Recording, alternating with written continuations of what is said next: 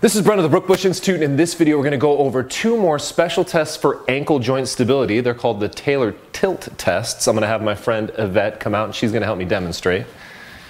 Now these tests help test the integrity of both our medial ligaments, being our deltoid ligaments, as well as our lateral ligaments being the ATFL, CFL, and PTFL. And you actually don't need to memorize the, the names of those ligaments. What we are testing for is do we have good joint stability? Do we have integrity of these ligaments after something like an acute ankle sprain?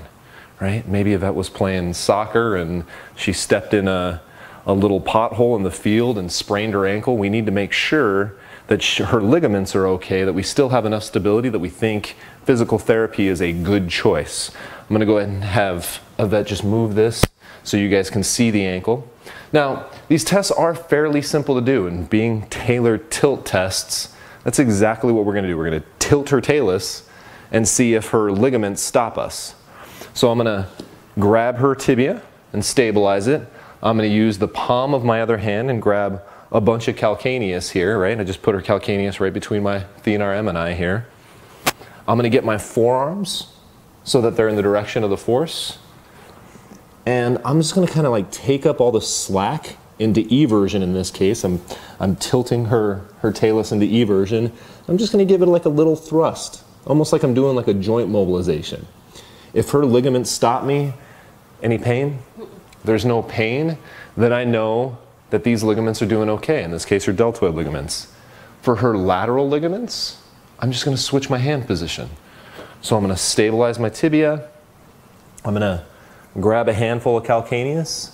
I'm gonna take up all the inversion, right? And then just kind of give a little thrust, not really like a, a high velocity thrust, more like I'm doing like a joint mobilization and just make sure that her lateral ligaments actually stop me from going any further.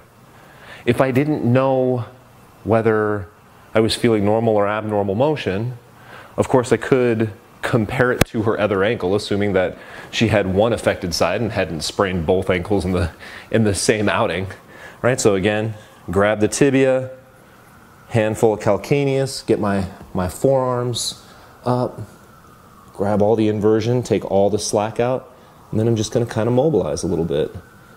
And, and they stop me. Notice guys, I have not, not neutral position. I don't have zero degrees of dorsiflexion, but she's not pulled all the way into plantar flexion. I'm just kind of in that nice neutral position. Same thing, and go the other way, grab some tibia, grab some calcaneus, take up all the slack and eversion, and then give her some little thrusts like I'm doing a joint mobilization. And if those ligaments stop me, then I know she has good integrity. And of course, we can tell by her face that that wasn't painful either.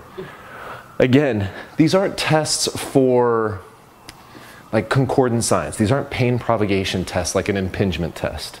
An impingement test we might come back to over and over and over again as we try to treat and address an issue and, of course, make the patient better. These tests are more about clearing the patient for physical therapy.